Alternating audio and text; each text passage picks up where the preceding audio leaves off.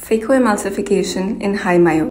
This is a case of a 55 year old female patient who is a known case of pathological myopia. She came with complaints of gradual diminution of vision in her left eye since the last six months. On examination, she had developed nuclear cataract. After thorough examination, she was planned to undergo phacoemulsification and IOL implantation in the same eye. Her axial length was 30.5 millimeters. Planned IOL power was minus 4 diopters. Topical anesthesia was given for this patient. Retrobulbar or peribulbar blocks were avoided due to increased risk of globe perforation in high myopes. A clear corneal incision is made using a crescent blade. Side port is made. Anterior chamber is entered using 2.8 mm beveled up keratome.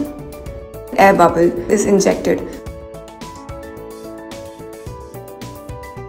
Dispersive viscoelastic is injected into the anterior chamber to remove air bubble.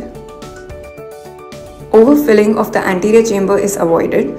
Also, leakage through incision sites and frequent collapsing of the anterior chamber are avoided in order to prevent excess movement of the iris and the vitreous. Using a 26 gauge bent cystotome, capsulorhexis is initiated. Utrata forceps is used to complete the capsular capsulorhexis. High myopes have deeper anterior chambers which can produce greater parallax effect which can affect judgment of size and centration of the rhexis.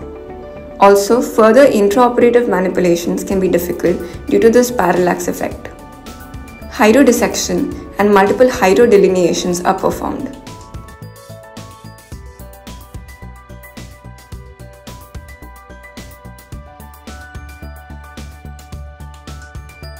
Then visco is injected above the nucleus.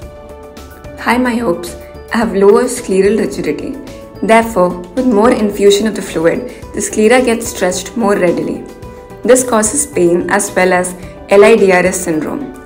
Lens iris diaphragm retropulsion syndrome, simply called as LIDRS, is an iridocapsular contact leading to reverse pupillary block, deep anterior chamber, pupillary dilation, and pain.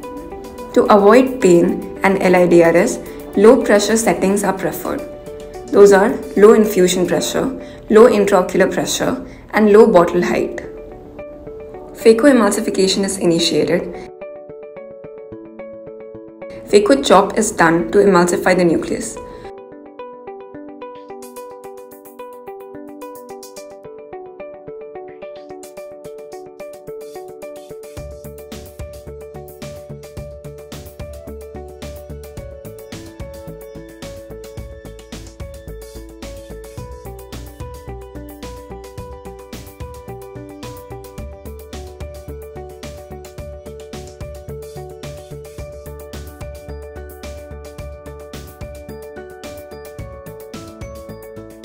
Cortex is loosened up using hydrocannula and then aspirated using IA probe.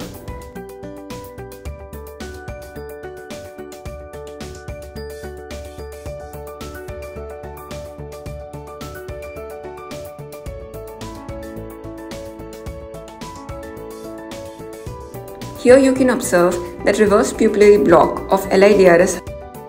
Using Sinskey's hook, the pupillary margins are elevated to allow fluid flow past the pupil. Posterior capsular polishing is performed.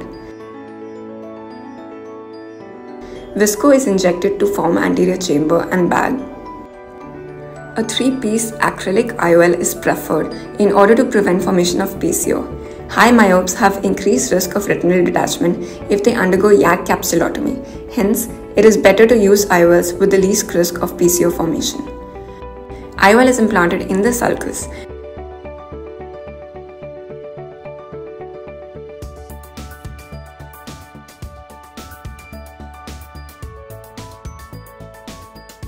An optic capture is done in order to prevent decentration of the IOL.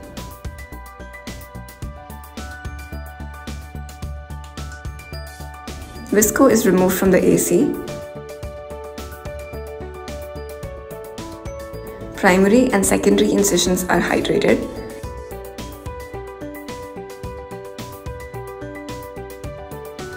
Intracameral antibiotics are injected. Thank you.